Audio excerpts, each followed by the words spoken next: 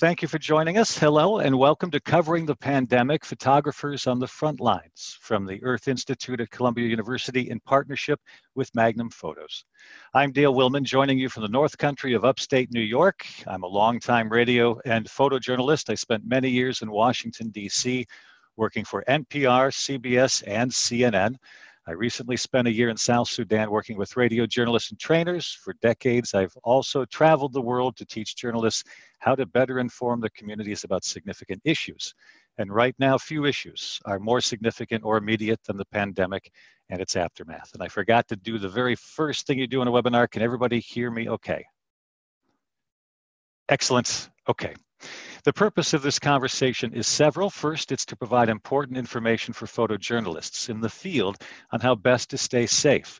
It's also to raise the issue of trauma within the journalism community and to provide tools for dealing with that. And finally, it's about community. And this is an important one for me, particularly when you're in the field working alone and you have no one who understands what you do and why you do it, you can feel very isolated.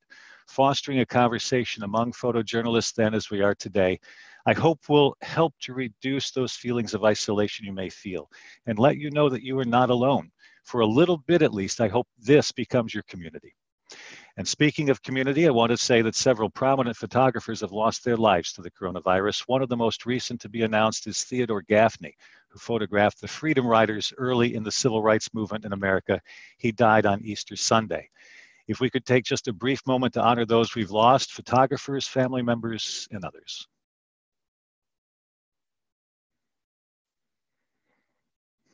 All right, thank you for that. I'll introduce our guests in just a moment, but first to the matter of questions. Today's format is mostly a conversation among several highly acclaimed photojournalists, and you'll more than likely have questions for them. So get a piece of paper and a pencil if you could, because I'm going to give you some information here about questions. Here's how we're going to handle that. I've turned off the comments on Zoom. It's a useful tool, but it's difficult to keep track of questions that are being asked. So instead, we're using onlinequestions.org. So that's onlinequestions.org. And now you need to write down this particular piece of information. When you go to onlinequestions.org, you need to enter this code 2020 0420.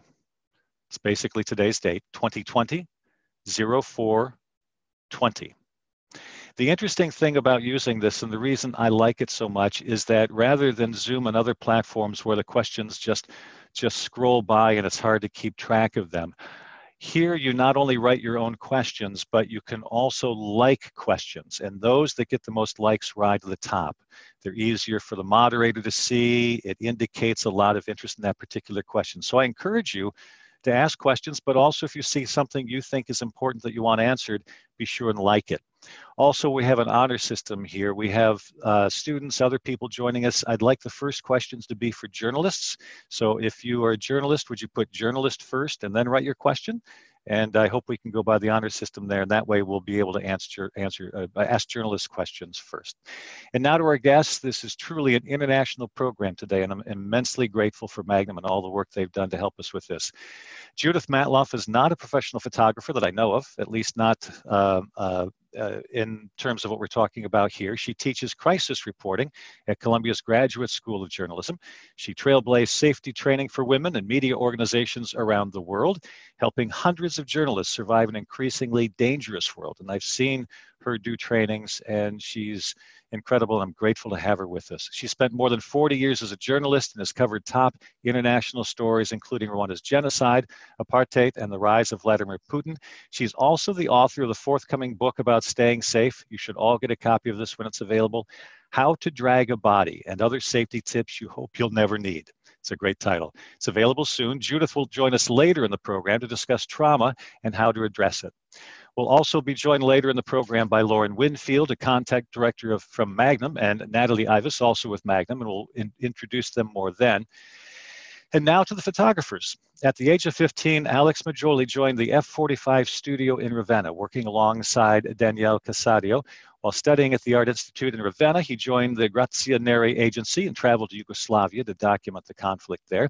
He returned many times over the next few years, covering all major events in Kosovo and Albania. He's joining us from Italy, where he's been covering the pandemic for Vanity Fair. As soon as he shows up, I'd like to get to him in case he has to leave quickly. Thomas Dworzak has documented many of this century's most important news stories since the 1990s. Dworzak started traveling when he was 16 to photograph conflicts in Northern Ireland, Israel, Palestine, and the disintegrating Yugoslavia. Since then, he has gone on to photograph wars in Afghanistan and Iraq post 9 11, the revolutions in the former Soviet republics of Georgia, Kyrgyzstan, and Ukraine. He'll join us in a few minutes from Paris. Brian Woolston is a, a photojournalist based in Louisville, Kentucky. He covers news, sports, and politics for the Associated Press, Reuters Pictures, and Getty Images. Brian is also preparing for the launch of his nonprofit Journey Press. It's an organization that will specialize in telling the stories of humanitarian focused nonprofits around the world. Here's where it gets interesting with Brian. Brian spent 20 years in the United States Army, where he trained as an explosive ordnance disposal tech. His duty assignments included multiple tours in Iraq, Afghanistan, and other high and low intensity areas of operation around the world. He finished his military career with duties assigned to the United States Secret Service and the Presidential and Vice Presidential Protection Detail in Washington, D.C. So he brings a very interesting perspective to this conversation. Enri Canaj has been a freelance photographer for major publications such as Time, Lightbox, CNN Photo, New York Magazine, MSNBC Photography, Wall Street Journal, Courrier International, and many other outlets. He was born in Tirana, Albania in 1980. He spent his early childhood there and moved with his family to Greece in 1991, immediately after the opening of the borders. He's based in Athens and covers stories in Greece and the Balkans. He joins us from Greece. And Newsha Tavakolian is a self-taught photographer. She began working professionally in the Iranian press at the age of 16 at women's daily newspaper Zan. At the age of 18, she was the youngest photographer to cover the 1999 student uprising, which was a turning point for the country's blossoming reformist movement and for Newsha personally as a photojournalist. In 2003, she started working internationally covering the war in Iraq. She's known for her powerful work covering wars in Iraq and social issues in her native Iran, and she joins us today from Iran. Newsha, I'd like to start with you if I could, please. First, thank you very much for joining us. Can you tell us exactly where you are right now? Um, hello, everyone. Um, I'm also very happy I could join this uh, conversation I'm in Tehran. I'm at my studio in Tehran right now. So, have you done coverage of the pandemic? I understand you have been out in the streets for some coverage of this. Yes. So, um, we have to know this that Iran was one of the first country that was hit by the virus. So at the early March, um, Iran was, uh, we all went to self-isolation because um, the uh, virus uh, starts spreading all over the country very quickly. Because in that time it was election time parliamentary election and also the 40 um, 41st um, anniversary of the revolution. So many people they went on street and they got the virus. So, um, and then the hospitals, they could not manage to um, uh, accept all the patients. And then people uh, themselves, they decided to do self uh, isolation and they went on quarantine. And um, in that time, still the government, they were not um, uh, realizing what is happening. Or many people here they believe they knew but because they knew they cannot stop and they don't have the resources to um, uh, um, uh, receive uh, all the patients that they need the care. Um, so they um, decided to um, not send the news out. So tell me what it's like being on the street during this time uh, you bring particular um, things of interest as a woman on the streets of Iran, but also at time of pandemic. What can you tell me about that? And, and what, what, tell me what it's like being on the street and what you do to keep yourself safe. Yes. So um, you said as a woman, you know, I, I live here and all my life I lived in Iran. So when it comes to something like the coronavirus and the pandemic, I don't really um, see myself as a you know women photographer going on streets you know I, I, look at myself like all the other humans here um, what happened here that uh, I have a really um, weak lungs and I have asthma. So I had to be really careful uh, by not getting the virus. So I was very conscious. And I was in, in quarantine for two, three weeks when National Geographic, they um, uh, contacted me and they asked me if I can do a story about what is happening in Iran um, I had to think about it because um, it was exactly at the same time where it was the death anniversary of my father. And my mother, she prepared a, a big anniversary for, for, for my father with lots of guests and lots of people coming from all around Iran to visit.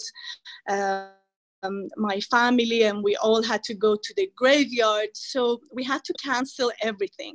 And then I, I decided that instead of going on street, because um, what happened, I was looking at my colleagues' images, and it was quite difficult to cover the virus here in Iran because you could not take pictures freely.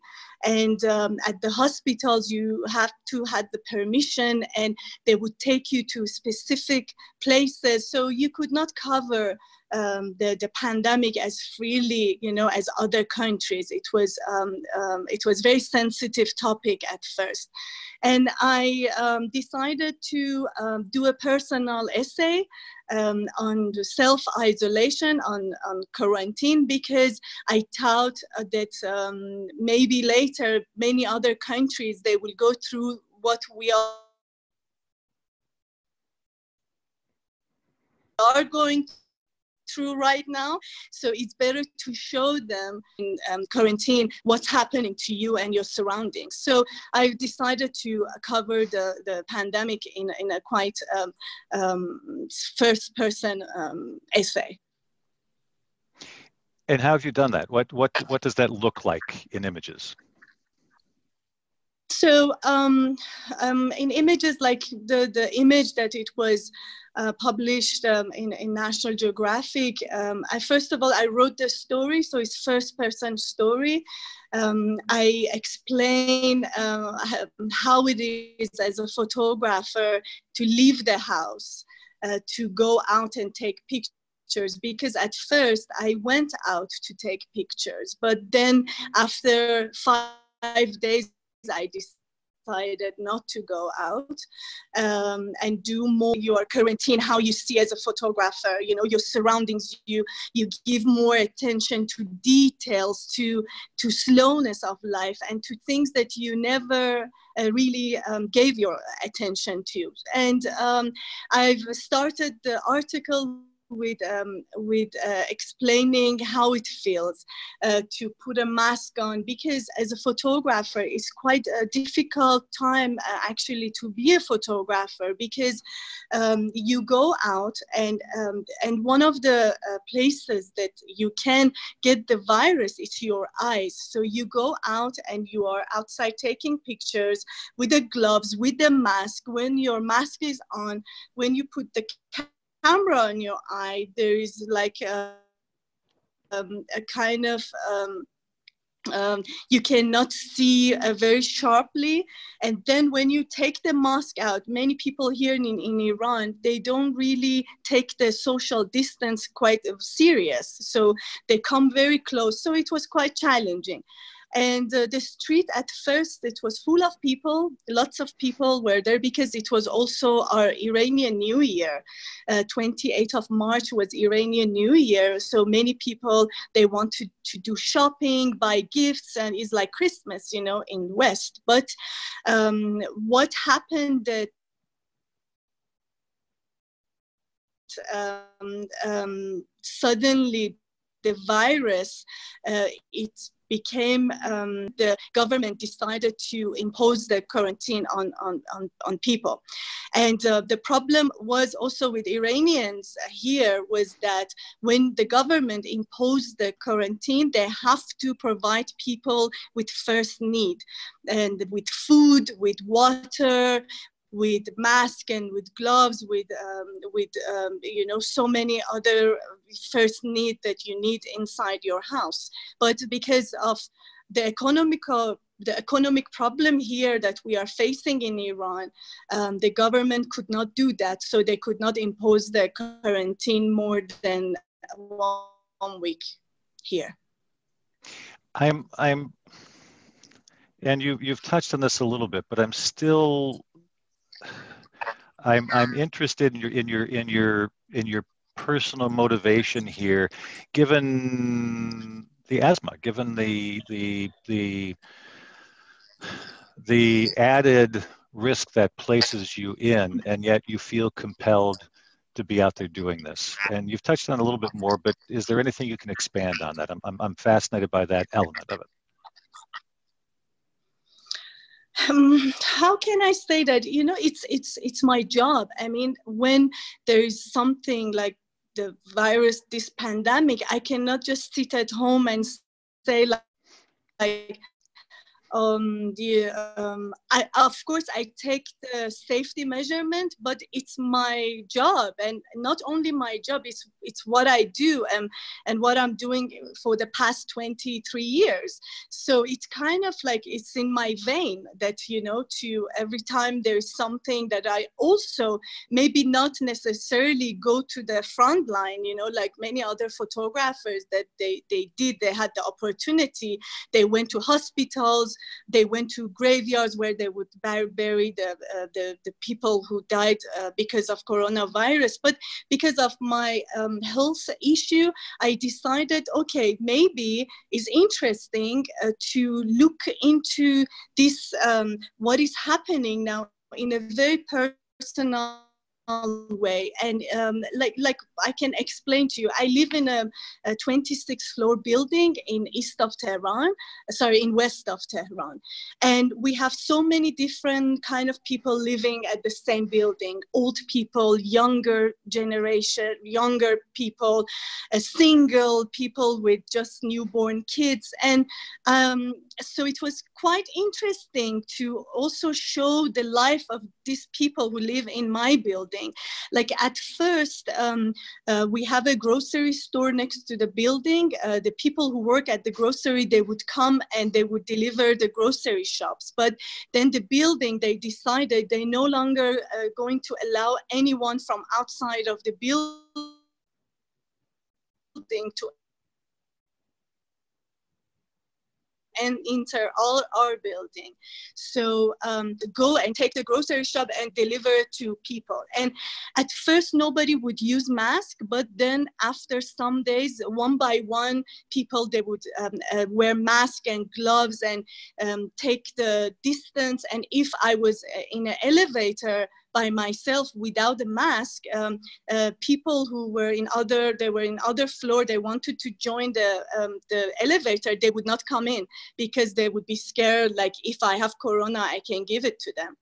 And, um, and then I started to um, going to to my house and see what I can photograph. So I became more interested in the morning light and, and the, the, the things that I have in the house and, and my cats and, and the, the flowers in my house that the, after one week they would be rotten and, and the fruits and um, yeah, life, it became kind of slow. And uh, if you can see, uh, go to the National Geographic website and see my story and my images, you see there is not much happening. It's very slow. And and when uh, I went with my mother and my sister, at the end we decided to go to the graveyard for the anniversary uh, of the death of my father. Um, it was such a um, stressful trip because uh, my sister, um, at first, she was not believing Corona. She was like, no, this is all uh, die and i don't know she was watching so much um, um, i don't know like tv this is not so she was like into that mood and she was not wearing gloves so she went outside of a car to buy flowers for the graveyard of my father and me and my mother we were so scared and we start shouting so it was such a stressful um, trip to go and come back and and since then i think our life uh, really changed enormously and it, the, the, the, the, the sad part is like we all kind of get to use to live like this way a quick uh, quick point of reference. Do you live alone, or are you coming home to people that that if you were to become infected, that that you might that that's a risk? Yeah, so um, I live uh, by I live uh, in this uh, building that I live I live by my husband uh, with my husband, but my husband was not here at first. He joined me later, and again he left. Um, and uh, my mother and my sister they live one street higher from my building. So um, most of the day i spend my time with my mother and my sister and my worry was uh, mostly um, that if i go out and take pictures if i get corona because i I see my mother every day. I can give it to her, and also that was, um, uh, you know, uh, one of was one of my concern. And I was so careful, but uh, unfortunately, at the end, I got corona, and um, I just feel much better uh, with like in the past two days. Um, I had a very mild corona.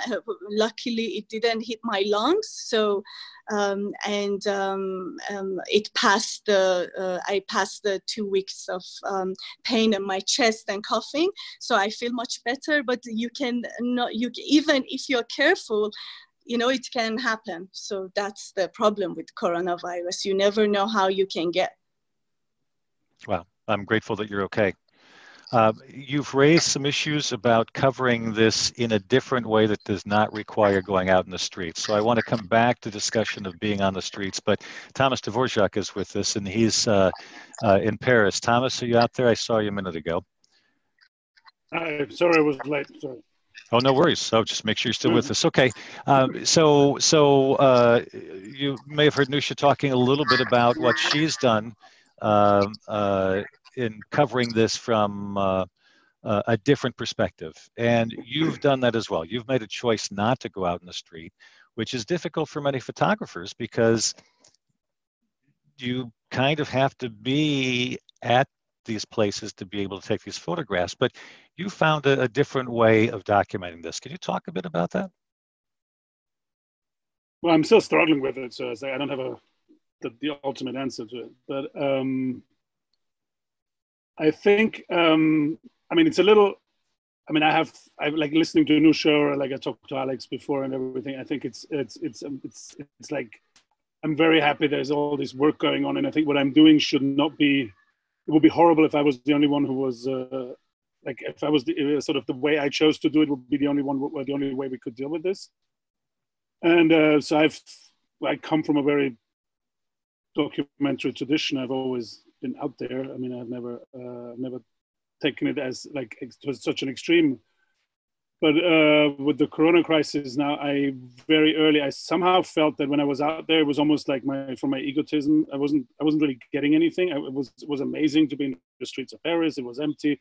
I was biking around. I was taking kind of weird pictures of people with masks, but I felt it doesn't really do anything and um, like doesn't add anything or so. And uh, so I thought I should turn it all around, and I decided to stay at home. So I don't, just to be clear, I don't have to stay at home. I can go out. I have a pass, I have a press pass. I have all the. I mean, I could do it, and uh, I have no. I'm not in quarantine. I mean, it sounds would sound a little bit more dramatic, I guess, if I could say so, but it's not. And um, but I chose. I decided that I would like to f- try to photograph this entire other world that has come up, which is like like we're doing right now. I mean, I should take pictures now. Actually, it's like the sort of the Zoom world. Um, so it's, mo- it's, mostly Zoom. Part of it is um, I've done a little bit of WhatsApp and uh, and a little bit of uh, Skype, but Zoom is sort of the most most inconvenient one. And what makes me the most like most it's the most satisfying as a photographer. So I haven't really. I mean, it's still I'm still trying to work with it. So I think I made a few mistakes at the beginning when I was very uh, active and trying to bring people together. And Newsha, I remember calling Newsha, and then we tried to get somebody from China on the phone and sort of create these weird situations with a show me your life, but it wasn't visually, it really wasn't interesting. So what I've done, what I've done since is I was trying to kind of duplicate what I used to do as a, well, used to do. I hope I'll do it again, but uh, used to do as a as a real photographer, so that I will go so all these kind of different roles. And one would be the protocol photographer that's allowed into a political event where you take, you have two minutes to take a picture of 50 seconds or whatever, 30 seconds. and then you go out, and then there's the front stage, there's the backstage, there are the I don't know the, the the sort of more social things, but also mostly by getting myself into Zoom calls. So in, into existing ones, I'm trying to join religious um, religion. Uh, there's a lot of religious services, family parties, nightclub, whatever whatever there is. And uh, so now in the last few few weeks, maybe I've tried to also shift in a way that I would use that tool in order to photograph things I cannot get to. It's not because I'm not there. It's not because I'm not because literally nobody should go there. So it's about people who are living in confinement or people who are in in quarantine. So I'm now photographing in a house for the elderly where the, the staff has has um, has quarantined with the with the uh, with the the residents for about four weeks now. So there is no way. I mean, even if I drive up there, they're not going to let me in because I put them in danger.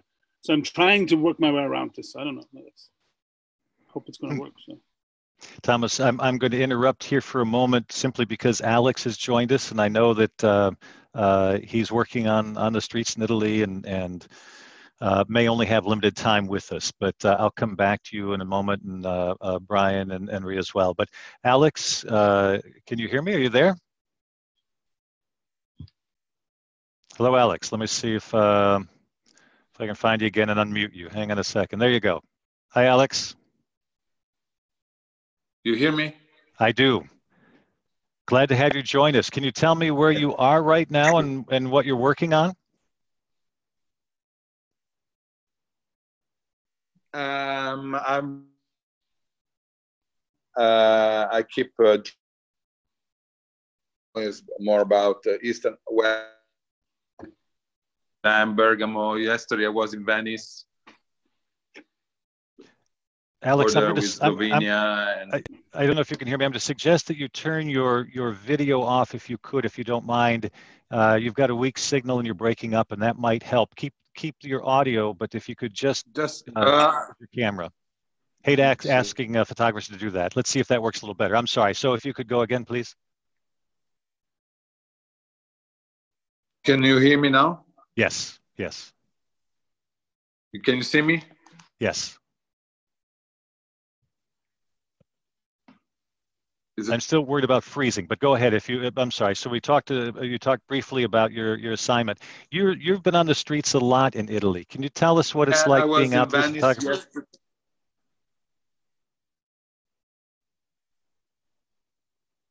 Yeah.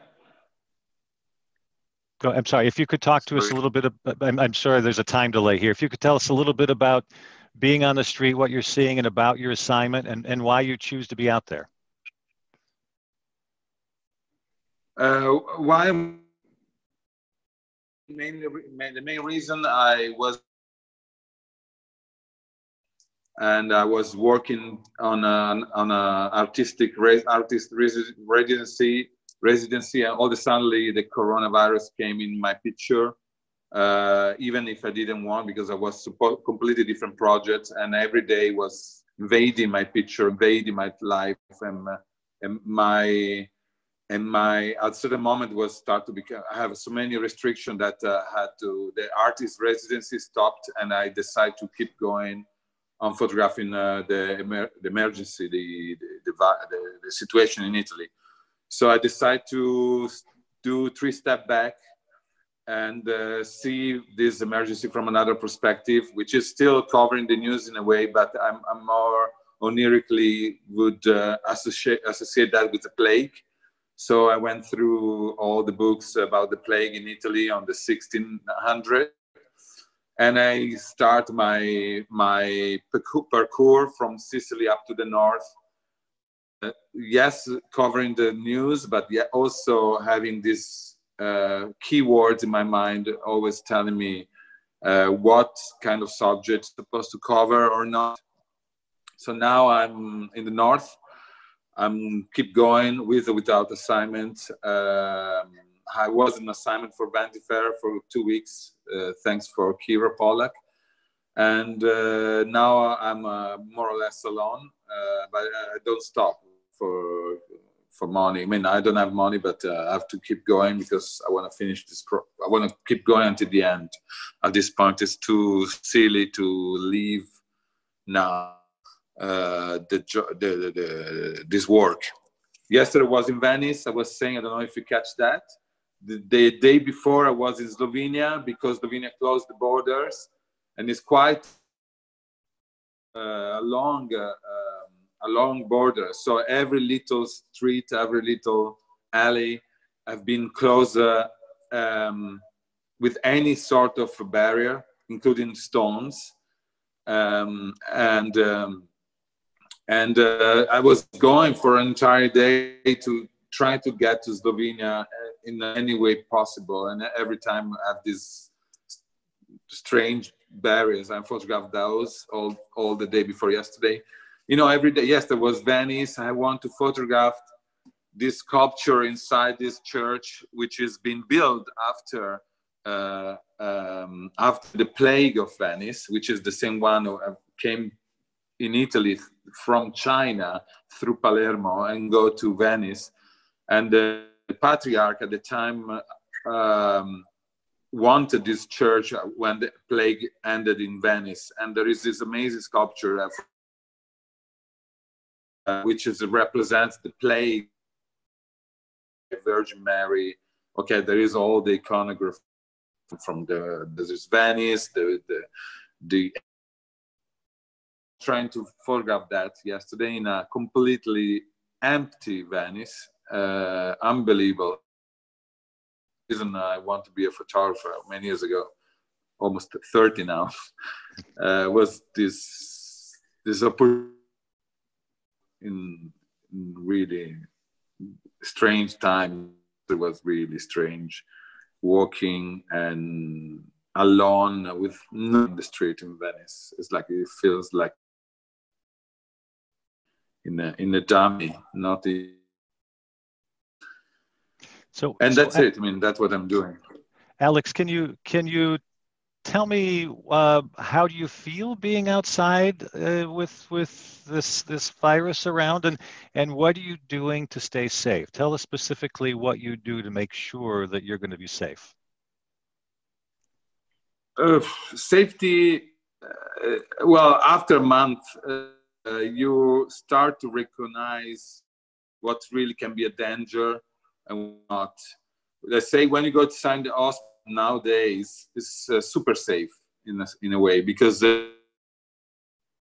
when the doctor knows now and you are full on basically the, the, the risk to get the virus is so reduced that uh, I mean we sanitize ourselves every 10 minutes for no reason. Even when we i pay i pay the highway toll and i sanitize my hands. It really it's become so over over my, my hands almost corroded and that matter. Sometimes you you lose uh, control and uh, you lose attention in a really weird situation like uh, i would say you get after an entire day in the hospital, get and then you feel like okay, I'm safe. But actually, you go buy bread and meat, and you have really have to again the the virus if you get the virus. Uh, for instance, the other day I was photographing the airport. A police came next to me because it was with the camera in the airport, and then because I didn't thought, I mean, it was more in alert, uh, kick me away or ask me the question. So, but he, the guy was really close to me, uh, talking straight in my face. The, the, after that, I said to my sister, I got it now with this guy that is uh, in the airport every day and doesn't wear any protection. That, for example, is the danger I think we, we going uh, we we are facing. It's more like you have to be an alert from the moment you go out in the house. Night, you have to always be an alert. I've been scrolling so through, uh, sharing my screen and uh, scrolling through some of your photos from Vanity Thank Fair. you. Yes, I see. They're very compelling. Uh, yeah, they're, those are C square, C square prints, pretty sure, but normally are rectangular, four third. Anyway.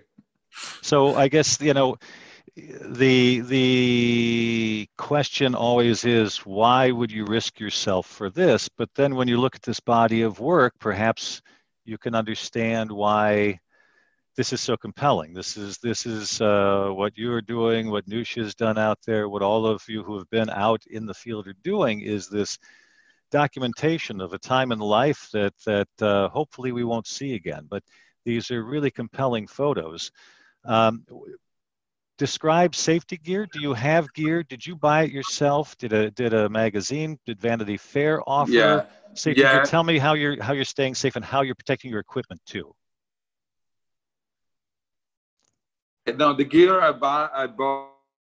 we talk about many gears. We talk about not because it's in a, a real infected area. You have to.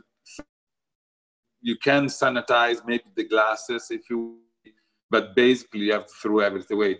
I don't know, I call it in English. Uh, costumes, I don't know, the white. Uh, your shirts. Uh, sure. Or your, the your... Um, whatever, uh, all the rest you have to throw away. I mean, and uh, even sometimes so much that uh, with the alcohol um, and basically destroyed everything. My shoes. Uh, have to at the end uh, is already. A, it's stupid to say that, but you know. Um, so the gear you, I bought the gear at the time uh, where those it's where they sell um, agriculture, uh, like a poison for poison, like a fertilizing or poison as well for uh, vegetables for for farmers. They have that kind of gears, and I bought a lot of that. You know, glasses, uh, uh, everything. You know, they use even the, the thing to cut the, the kind of um, uh, plastic uh, visor, uh, gloves, tons of gloves, gloves. and um, uh, my camera. I what I do, and that I'm so far I gel I use for my hands. Uh, but it contains alcohol again it doesn't really camera, but uh, but it's really camera next to your face. You realize immediately, say, "Oh my God, that's." Let me let me let me take uh, let me sanitize again because it really goes to the eye, close to the eye. Um, that's what I do. I, I see my camera start to change color. I have to say after all this alcohol, it's not nice, uh, but uh, that's that's life, you know. You know, I will call Sony and say, have an extra camera for me. and you, but you raise a point, excuse me, that Newsha did as well. The idea of, of you can protect yourself in so many ways, but with your eyes open to look through the camera and the camera exposed, that that's perhaps the most vulnerable spot that you have as you're outside, I would imagine. Yeah, yeah, yeah. Of course, yes. Is uh, luckily, digital. I mean, when I shoot a picture, also I look what I'm doing from distance. You don't have to always be close by, but uh, yeah, it, it is a, it is a danger there. Yeah, for sure. Now, Alex, do you have a few more minutes for you? I want to want to speak with uh, Henry and uh, Brian as well. Do you have a few more minutes with us? Yeah, like really, literally three, four minutes, no problem. Yeah. Okay, so then let me ask you one more question before uh, you might have to leave, and that is, uh, what what one or two or three are there any lessons that you've gained from being out in the field? Things you would do differently, things you would do better, things to make sure. I mean, one of the big issues here, of course, it's my belief that photojournalists are the ones who are on the line more than anyone else. That you have to be out there. You can't use a a, a 10 foot boom pole for your audio that audio people are. You can't use Zoom for interviews that TV are. Uh, TV journalists are. Uh, photojournalists are the ones that are out the most. But hopefully, there are lessons from this that we can learn that will keep us as safe as possible. Are there any things in looking back at this last month that you've spent that that you would share to say this is what I would do differently, or this is what I know works best? Uh, I don't know. I don't know if I would I would do something differently, but I it's not a learned a lesson. I saw, and that's what I teach to my assistant all the time. You know, in a situation like this, which is okay, when you go to country like Africa, you know, is you are the white guy. It's kind of, I don't want to say easy because there is a lot of logistics to take care of.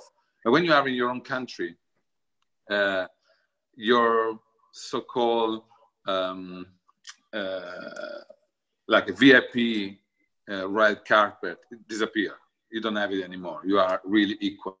Same thing when I work in the States, you know.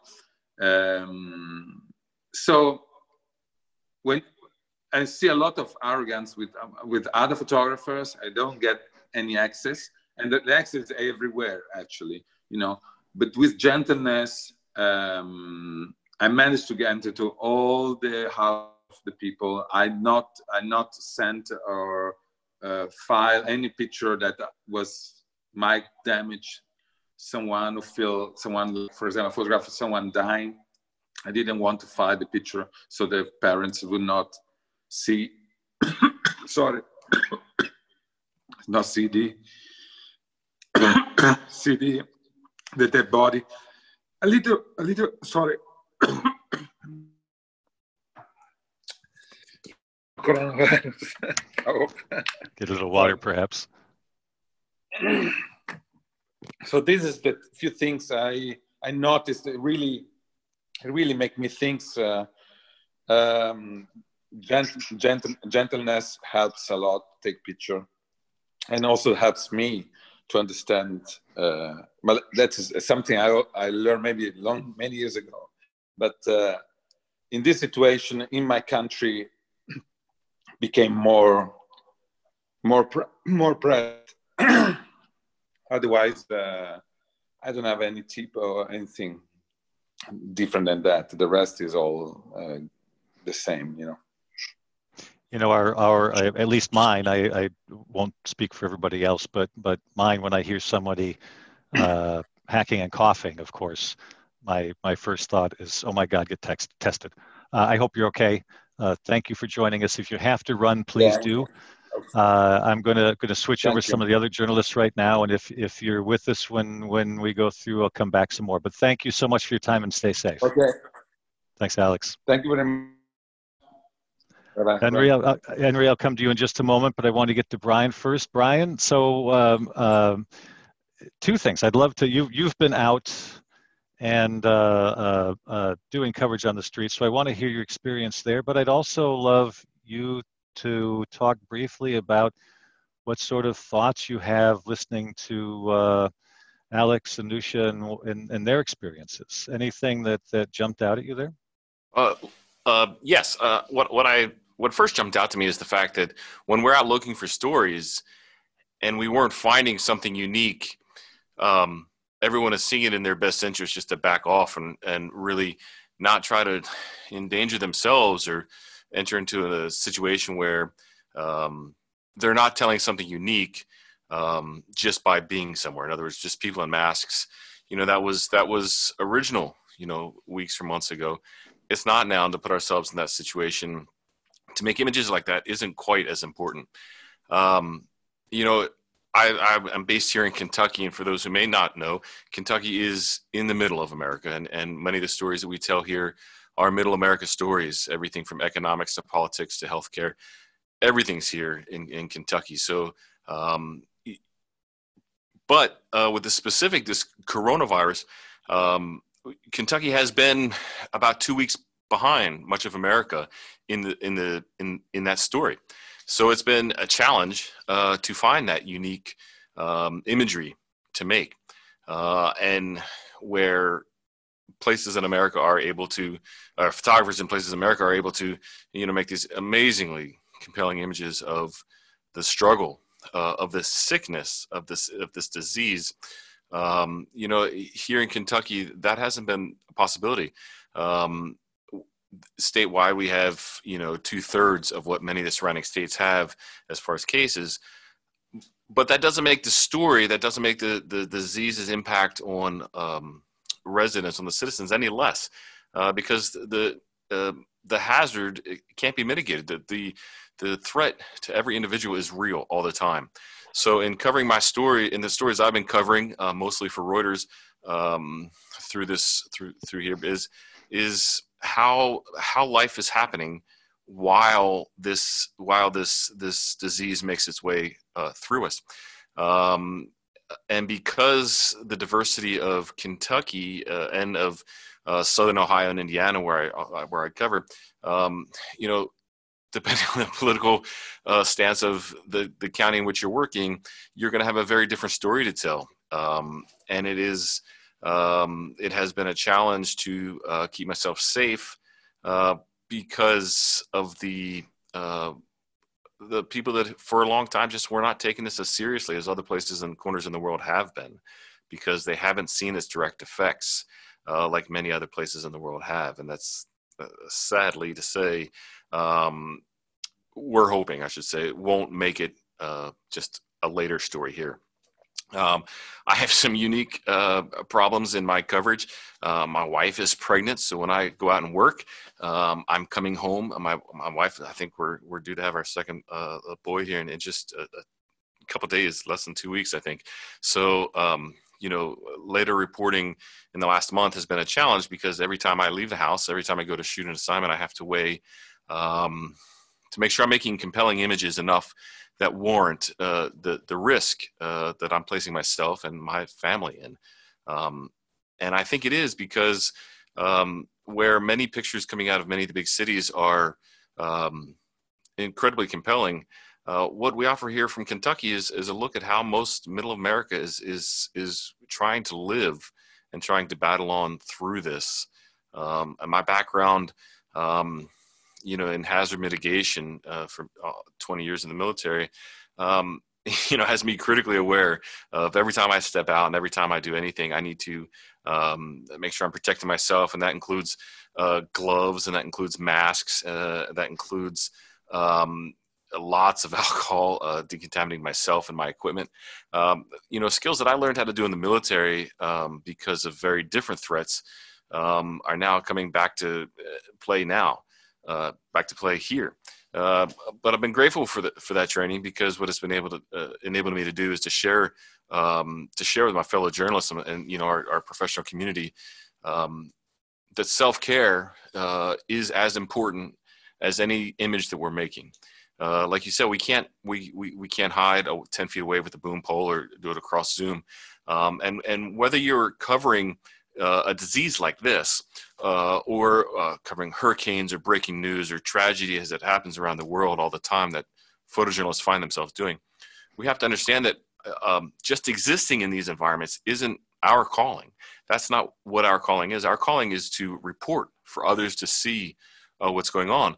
So we have um, really two roles: a uh, to report on what we see, but also um, to to keep ourselves working, to keep ourselves safe uh, and to keep ourselves um, able to continue our reporting. Um, it can't be a second thought. They, the two have to be rolling together because um, uh, there is there, there there is no way to separate what we're doing from where we have to do it, and and uh, that's been incredibly challenging. Um, many of the things I've been covering in recent uh, days and in the last two weeks have been, you know, the the the many Americans who are now feeling that it is time that we no longer quarantine ourselves, that we no longer have to separate ourselves. So there's large crowds are starting to form again. Uh, just the other day at the State House uh, in Kentucky, uh, crowds are now almost every other day gathering to protest uh, the government uh, the government uh, rules on on businesses being closed, and that brings together two three hundred people in a very small space, and that is incredibly challenging to cover that while maintaining um, your self awareness. Um, and it, it, it uh, the two have to go hand in hand though, because without one, um, uh, if you allow yourself to get sick, um, none of the work, the work stops, uh, the work stops. And, and um, we have to always uh, have that at the front of our mind being a journalist, when you mentioned lots of alcohol, my my thought immediately went to scotch, of yes. course. I, I, uh, we're here in Kentucky, so it's bourbon, but yeah. but I presume so. So just so that we're clear, it, it, it's it's alcohol-based hand sanitizer, yeah. alcohol-based sanitizer, yeah. Uh, yeah. above seventy percent alcohol. Seventy percent, right? yeah. Yeah, uh, and that's that's easy enough to put together at the house. You know, I mean, you know, it wasn't long that you couldn't get hand hand sanitizer um, anywhere Uh, so you just end up uh, getting the proper uh, rubbing alcohol, uh, you know, alcohol available at the right percentage, and and making up yourself. I have I have spray bottles. Um, uh, usually carry three of them with me. Um, every time I get out of the car, in, in other words, I put on my protective equipment on, gloves, mask, um, a hat uh, and and glasses before I leave the car, so that I know those things are clean when I put them on my body uh, and I step out of the car. Uh, before uh, I just ex- real quick, you said you said glasses. That means yep. goggles of some kind, not uh, just well, prescription I, glasses. The safety glasses, safety glasses, okay. yep. Uh, just to you know keep keep spray or particulates out of your eyes. Um, so you, you you put your protective equipment on before you leave. Step out of the car, and you take. Um, you know one of your hand san- one of your spray bottles in my case of sanitizer. You have any uh, and i set it on top of my car kind of tuck it into the uh, into a little cubby on top of the car so that when i go and do my job i go photograph whatever i'm photographing when i come back to the car the first thing i do is uh, reach right on top of the car and spray everything down before i even open a car door. So i'm not so i know uh, that the inside of my car was clean when I arrived, and my goal is to make sure that I'm not taking anything back into the car with me um, because the car is the bridge to everywhere else you're going, whether it be home or the grocery store or wherever else you're going. So you want to keep that space clean. Um, in the military, we called that our we called that our hotline. You didn't want to cross with anything dirty, meaning contaminated. You didn't cross the hotline with anything dirty. You didn't you didn't go back. So I spray off everything. I spray my hands. Uh, I spray um, I spray the outside. Um, I mist the outside of my mask uh, and glasses, uh, and then I um, take all those off, uh, making sure I, I'm not contaminating myself while I'm doing that. I take all those, take the gloves off, and the gloves will go into a into a trash bag for for uh, to be thrown away. Um, the glasses and the mask will sit in a, in a, specific place in the car where they can't roll around or possibly contaminate other things.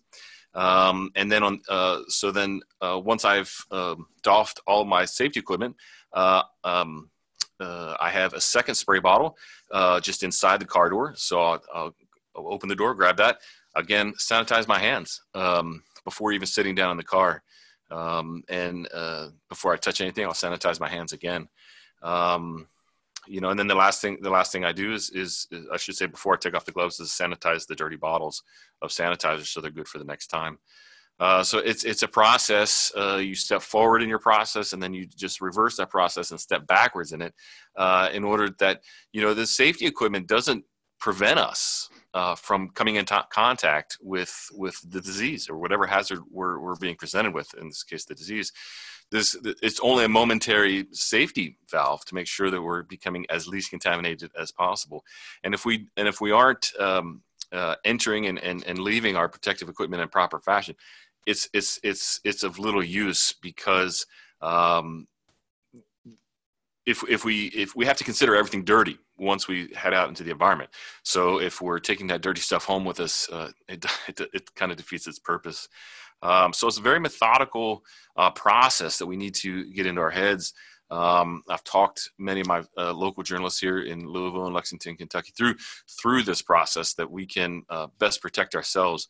Um, we owe that not just to to our our mission, our job, but the last thing we all, we want to do is to become a strain uh, on uh, infrastructure. Uh, we don't want to become uh, sick, or we need to have attention brought to us uh, while we're out trying to tell the story of others. So all these things that we do, um, and this constant situational awareness that we um, that we're that we are uh, obligated to have. It's it's it's not just for our safety or to tell the stories, but it's also um, you know everybody else is staying home or a lot of people are staying home and we're not. So we take on an extra obligation to make sure that we're doing all that we can um, to do our job as safely as we can. I want to get to Henry next, but a quick question to you: equipment. We heard Alex talk mm-hmm. about you know his plea to Sony for a new camera. Uh, Sony, if you're listening, is, I'll take one too. Yeah, this stuff's very harsh. Yeah. Uh, the chemicals we're talking about. Is there anything you can do to protect the camera to make certain that you're not doing damage while you're making certain that you're safe using that equipment?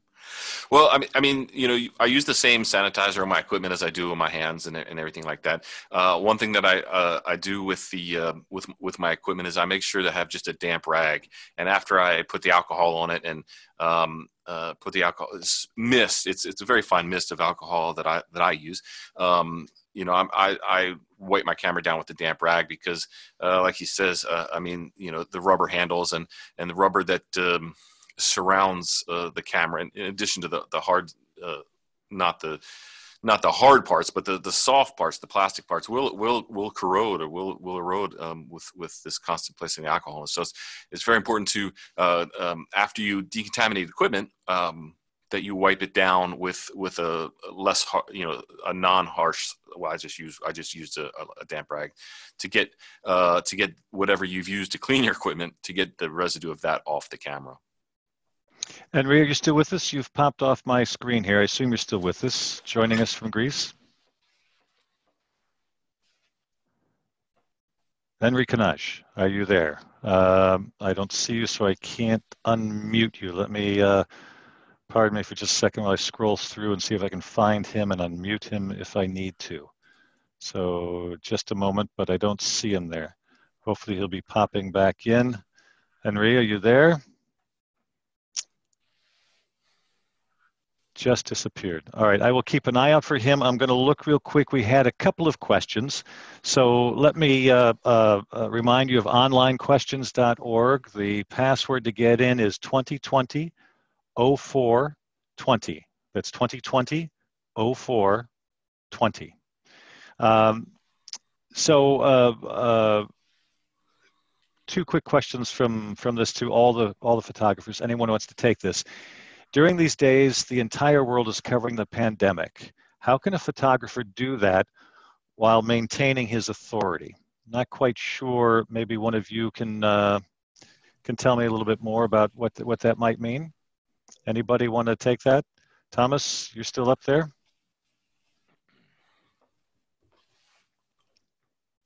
We seem to have people dropping off.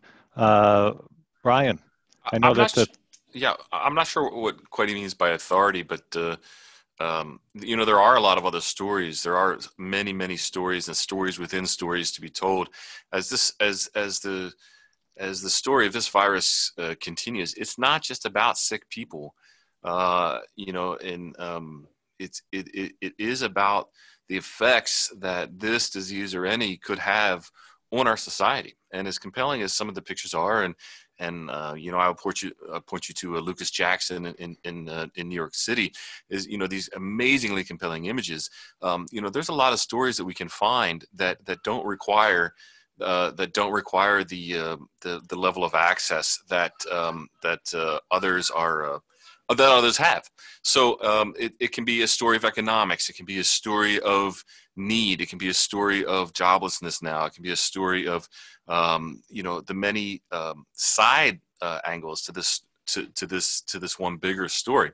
Um, and I think that if we uh, look for those stories and continue to um, not just look for sick people in masks to take photographs of, um, but to uh, tell the story of, of our society perhaps moving through this.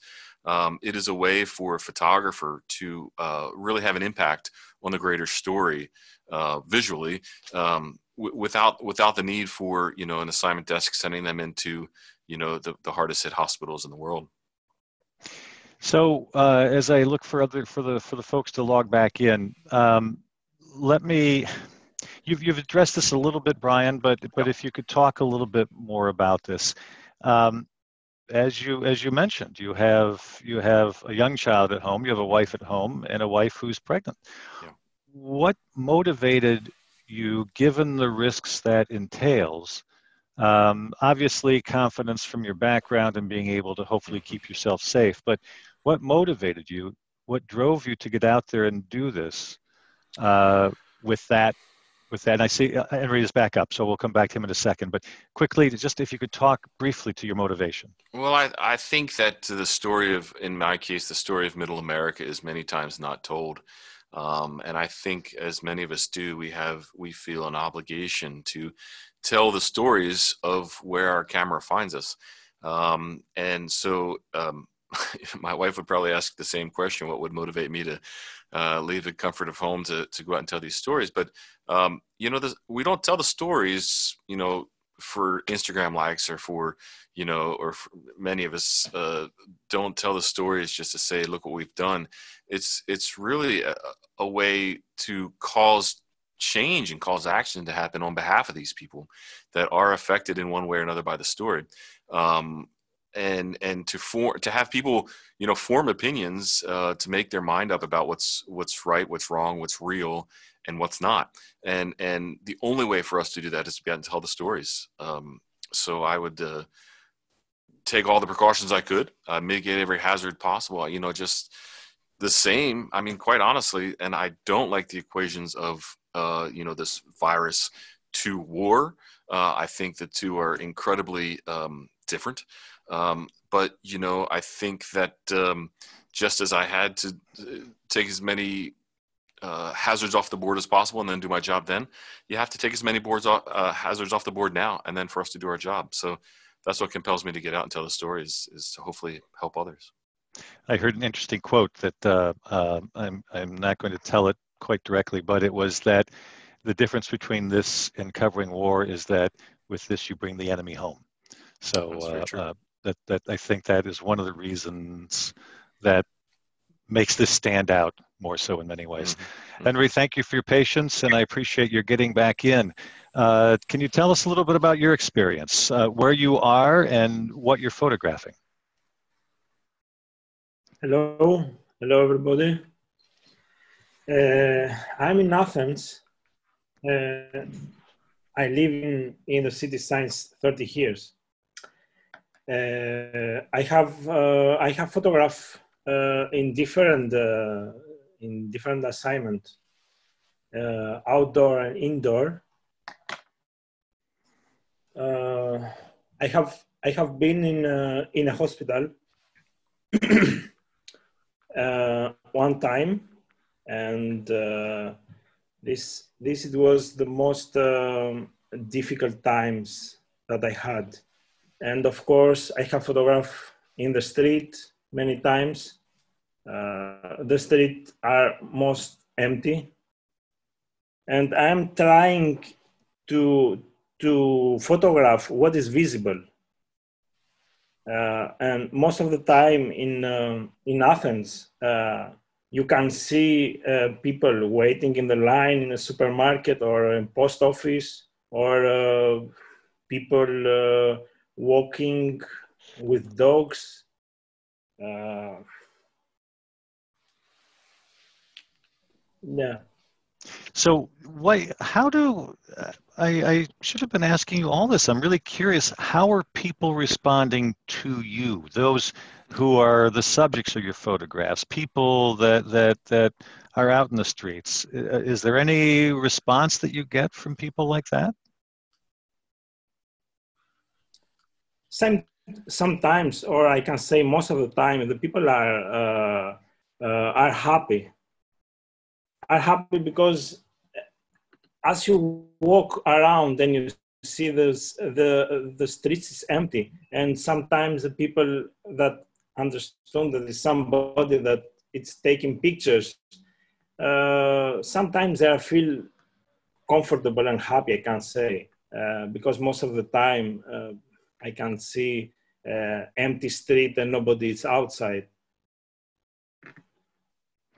and what are what are you doing inside? Are, are, there ways that have you found ways, as Thomas has and as Newsha has, to uh, photograph this in a way that that keeps you safe but still engages you as a, as a photographer? Uh, inside, I'm trying as a photographer. Uh, I'm I'm I'm I'm traveling a lot, and this is my first time that I can say that it's I stay in my my home since one month and a half. Uh, so for me, and I have a and I have a family. So and my and, and my daughter now it's uh, one and a half, and most of the time I have lived as I remember.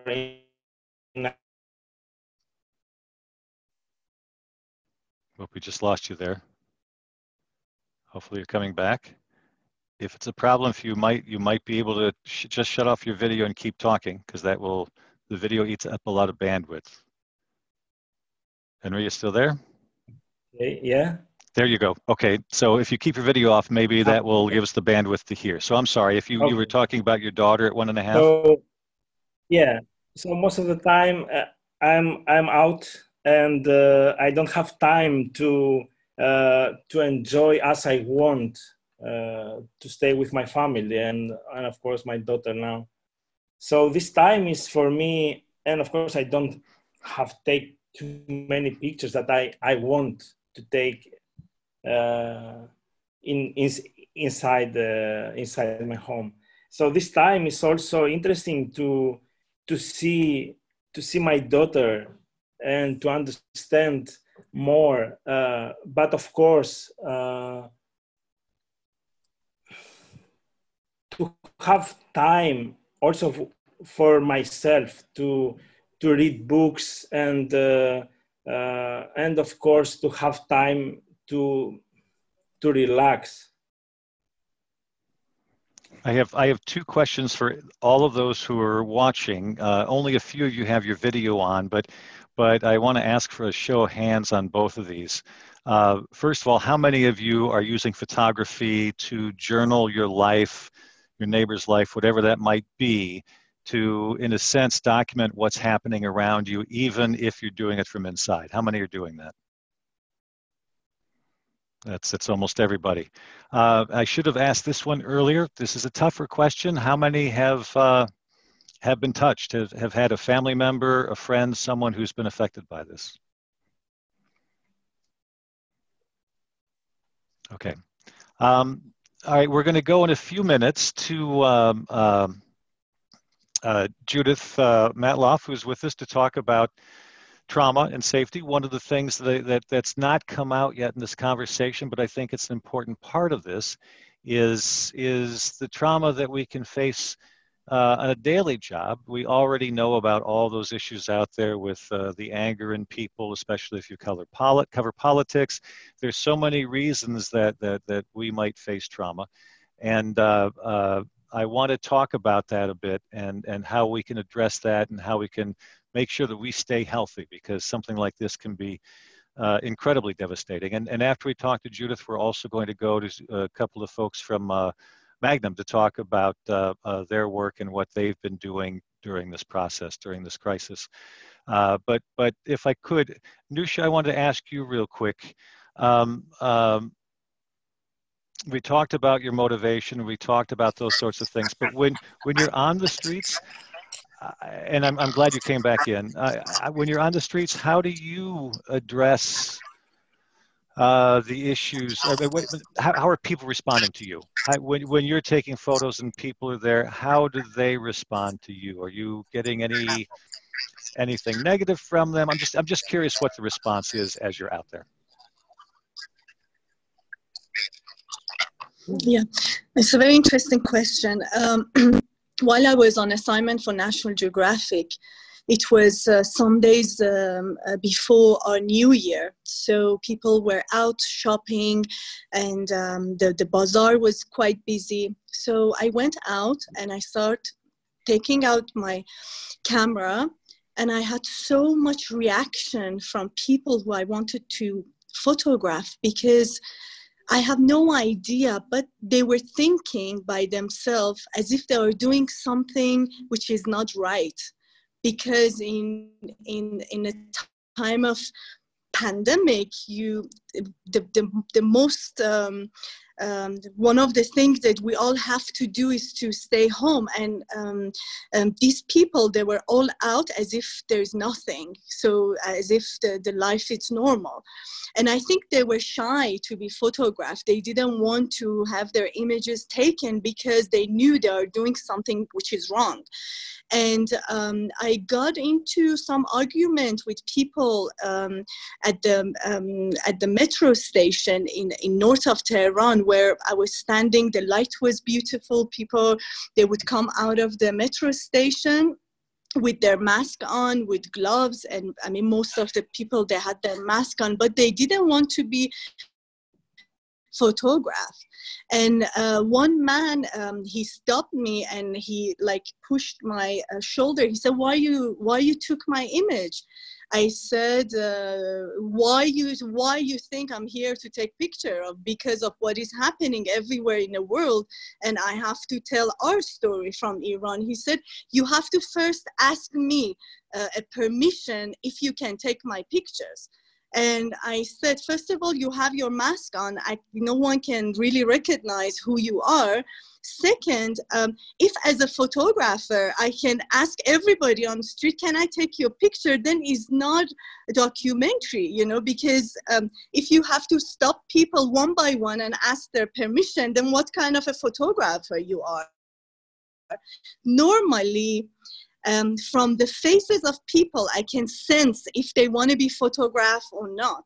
But with the mask on, it was so difficult to read their faces and their reaction. I think that was where I was confused um, also uh, as a photographer who want to be photographed, uh, who doesn't want. And um, that was the problem because I could not see their faces and I get their expression. Normally, this is how I take pictures. Um, from like one meter, I know if they want to be photographed or not. And um, that is how I, I, I, work for 22 years. I, I don't ask people for their permission on street because then I lose the moment. Uh, I, and just a, a quick follow up to that, I'm curious uh, had that person, do you think that person would have confronted you had you been a man taking his photo? The thing is, like, it's it's it's it's quite funny, but I have to say, um, as a women photographer covering Iran uh, all these years, I never had problem because I'm a woman photographer. Actually, being a women photographer here, people they trust you more because you're women, they trust women much more than male photographer. So I'm quite lucky in that front here. All right, so we have a few questions. I'm going to try to answer, excuse me, I'm going to try to get to those toward the end because uh, we've been going so long on this. I'm sorry that Thomas hasn't been able to get back in to join us, but what I'd like to do now is pivot a bit to the whole idea of, of trauma. And I want to uh, introduce Judith Matloff again from the DART Center.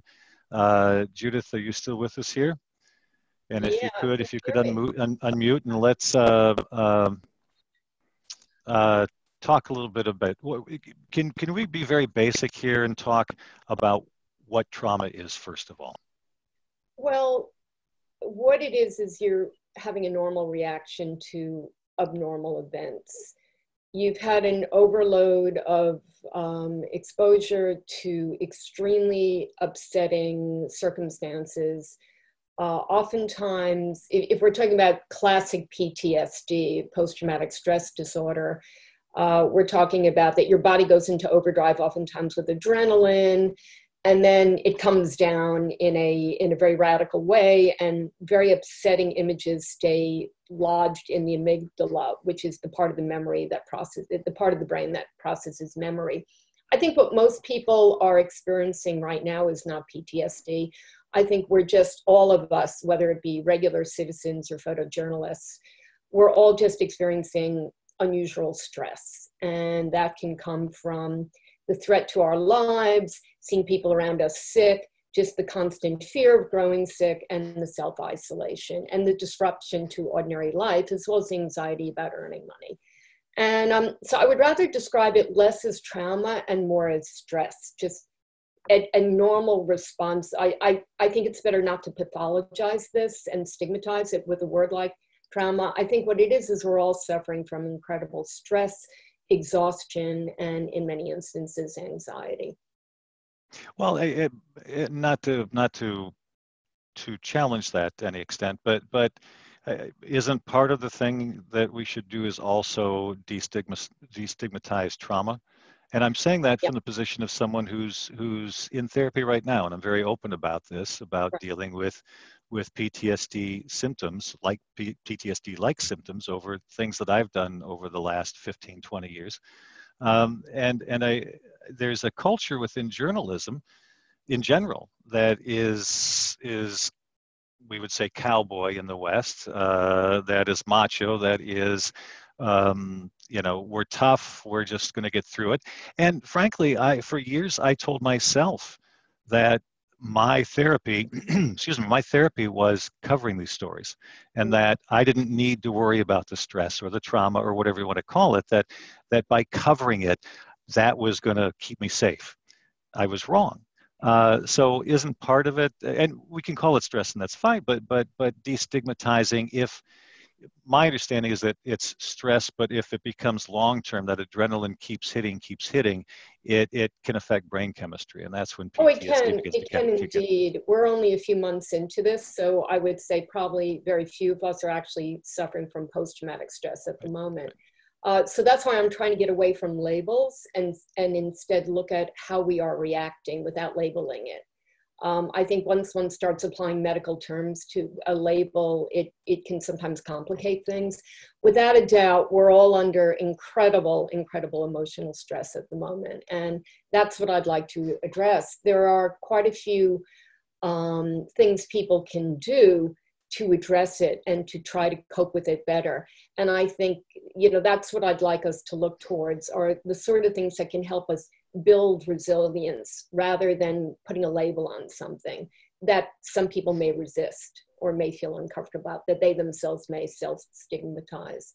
But I think, you know, I, I think the important thing is to look at how we can build up our own self defenses and our own social networks so that we can cope better with this extraordinary situation that we're all undergoing.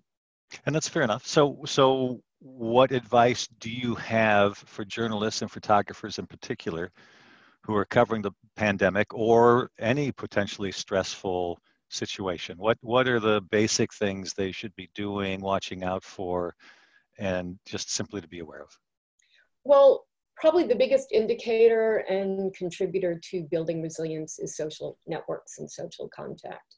So anything you can do to check up on colleagues, just kind of check in, maybe develop a very, a very intimate buddy system. Um, I have two people that I check in with about seven times a day, and we keep each other going. We send each other jokes. We're constantly checking, and one of them right now has a very, very bad case of COVID 19, and we're you know, we're on top of her. Have you drunk your fluids? We send her funny messages. Uh, we make sure we have contact with her on a daily basis, or several times a day.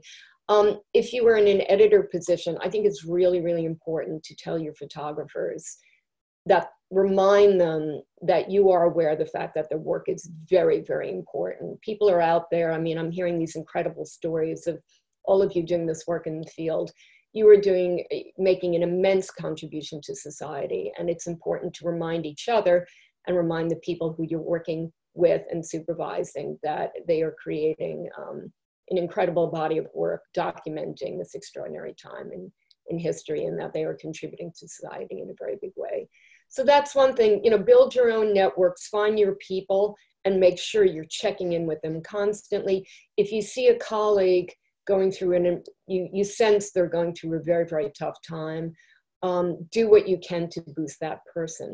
So that would be the first thing, social contact. You know, and even something like these Zoom calls, I don't know about you, but I find them, you know, we're, we're isolated, we're at home, we're, we're working in very, very, very, very demanding, challenging situations. And it's these Zoom calls are amazing in terms of building up that sense of community. So keep that community going, particularly with visual te technology where you can see faces. That would be one thing. The other thing, which is absolutely critical, is have a routine. Try to normalize your abnormal life as much as possible. Try to get up at the same time every day, hop into the shower, make yourself as clean and presentable as you can, even if you're not leaving the house. Eat meals regularly and nutritious meals. Watch the alcohol and um, weed intake. You know, really make sure you're not abusing stuff because the temptation is there right now. It's actually going to weaken your defenses in terms of being able to deal with this. Get a lot of rest go to bed at the same time every day. You know, I'm telling you all this, and I know I'm a journalist. Like, it's very hard to have a regular life, but do it as best you can. Try to do things in a regular way and try to get as much sleep as you can because sleep is one of the things that will make you resilient and will make you strong emotionally. And another, sorry. No, yeah. go ahead. Uh, no, no, go ahead. You had a question. Okay, no, I, I wanted to, to talk a bit about, you know, one of the uh, secondary, secondary stress, secondary trauma, uh, the idea that you don't have to be the one out there actually in people's faces taking photographs, worrying about your physical safety, that photo editors, that other people dealing with these things, seeing these photos can also uh, experience some level of stress, right? Of course, yeah. Absolutely. And, you know, just looking at images over and over and over again. One thing that was very interesting about, I don't know if people recall the massacre of the school children in Beslan in, in Russia. Uh, some of the, the video editors who had to go through the images of it time and again suffered a degree of post-traumatic stress equivalent to those who are also taking images and were on the spot. I think, you know, there's something about an image that gets lodged in the brain. It doesn't have a beginning, a middle, and an end. It doesn't have a narrative which can end. The image is just a very, very static thing that gets lodged. And I think that can have a very, very um, detrimental effect on how you're processing information. So somebody had mentioned earlier, maybe it was you, Dale, about journaling. And I think, you know, when you think about how many war war photographers or war correspondents have written memoirs. And I think journaling is a very, very good way to put something to rest. Just write that image down, write that experience down, just put it away on a piece of paper. And I think it, it helps you process what you've been going through throughout the day. We and we don't live in isolation. So so these are stressful times and there are other things going on in our lives. There there are, you know, bad relationships there's there's all sorts of things. So so there's a layering of these sorts of things and and that that also has an effect doesn't it? It does. It does and i think that's all the more reason why it's absolutely critical to build up that buddy system right now because your job is very upsetting you may have other stresses at home but if you have people who you can go to who you can seek that support and that camaraderie and that solidarity, I think it will help you deal with these stresses. And I'm, raised, I'm, I'm, I'm raising that because because one of the stressors for, for many photographers right now is the loss of income. And that's yeah. also going to, to add to that layers of, to those layers of stress. Yeah, no, without a doubt, it's it's it's devastating. As hard as it may be, because you can't control the future, work on things that you can control. If you have tasks and goals that can be achieved, that give you a sense of mastery, focus on those. Try not to um, project too much in, into the future. We don't know what our earnings are going to be like in six months. We don't know what this health situation is going to be like in six months. We don't know about the safety of our families in six months. So try to think of your life as just a 24 hour period literally try to live as much as you can. And I realize it's difficult. Day by day, take each day at a time. And it's a way of managing the anxiety about the, what, what the future may bring. So, what should we be looking for? What are the indicators? What are what are the warning signs that we might be suffering from stress? There are quite a few, um, and they can take they can manifest their, themselves in opposite ways. You may feel very numb or you may feel very jittery and overly overly active and overly anxious. You could be having panic attacks. You could be on the other hand you could be withdrawing into depression. You could have loss of appetite or you could be compulsively eating. Uh, one very common sign of certainly post-traumatic stress is is um, are nightmares and flashbacks where your mind is constantly returning back to a very very upsetting image or event that happened. Um, you might be very quick to anger. Um, you might be highly irritable. On the other hand you may be withdrawing. You just may not want to interact with people at all. So there's a wide array of emotional responses but I think one key is that if you're not yourself, if you are acting in a way that's extreme and is not the way you behave and feel and respond normally, then that definitely is a warning sign. So when you, if you recognize, if you see some of these in yourself, how do, how do you respond? What's what's the best thing to do? Take a deep breath. Talk to someone. Uh, I think again that's where your buddy system comes in. Talk with your your people and say, you know, I I'm not myself. I, I am really not handling things very well. And I think just the act of talking really helps. And Dale, you mentioned something which is really, really critical, which is if you feel it's getting to the point where you're really not handling it on your own with your social support network, there is absolutely no shame in seeking um, professional counseling. And I, I think I, I think it's, you know, this is not normal what we're going through. And we are undergoing a level of challenges, emotional challenges, that really are akin to a war zone in many ways. I think people have alluded to it.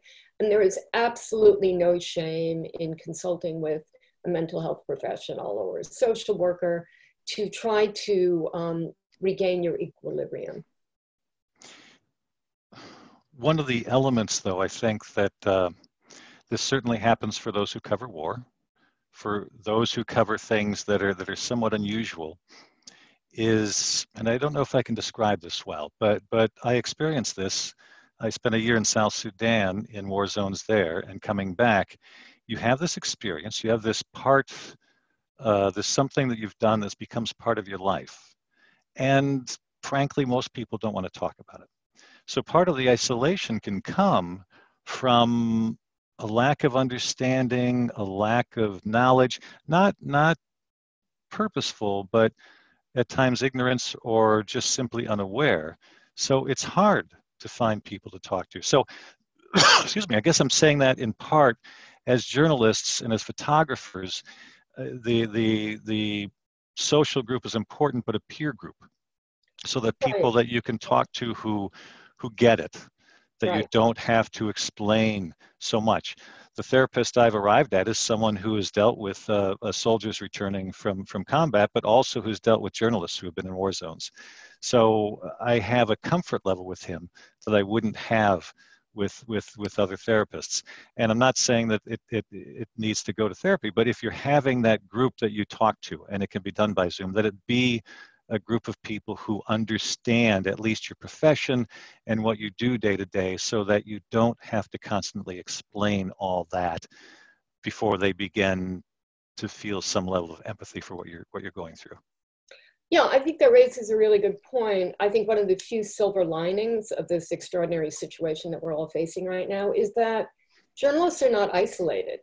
Your average citizen is going through exactly what we are and they may not be going into the streets and shooting images but we're all traumatized every level of society so i would i would argue that we're actually less isolated than when we're covering a conflict and we don't want to talk about it with our parents or you know we want to shield our children from it i i think everybody is feeling absolutely distraught at the moment and in a state of mourning and anxiety and i think it makes it in some ways easier to break that isolation that we oftentimes feel when we come back from war. It's interesting, and I, I think that uh, obviously people are going to respond in different ways simply by nature of the physical environment in which they live. But we live in the North Country uh, of New York, and uh, if I were to turn the camera, you could see the foothills of the Adirondacks out my window. We live in a neighborhood of about 100 homes, and in some ways, isolation has made us more social. There are people walking the streets constantly. We go out for a walk every day if we can. We stay a great distance. Everybody's good about they walk on that side of the street, you walk on this side as you pass. But there's almost I'm seeing neighbors I haven't seen in a long time. So that sort of addresses the the social uh, part that you're talking about. And I've heard other people talk about this too. So I'm I'm, I'm curious to see what happens as this lifts if those those connections remain. Yeah, and if they don't, I think it's okay because it means that we don't need them. You know, we're I I I don't know about the rest of you. I'm getting phone calls from people I haven't spoken to in 40 years. I'm talking on the phone more than I've ever talked since I was a teenager. I hang out of my door. I live in New York City. You know, we have the seven o'clock cheer for the emergency workers. And um, I'm getting to know neighbors I never met because we stand there and we bang with our pots. I have a bang buddy. She's like an 80 year old woman who lives in some window across the street.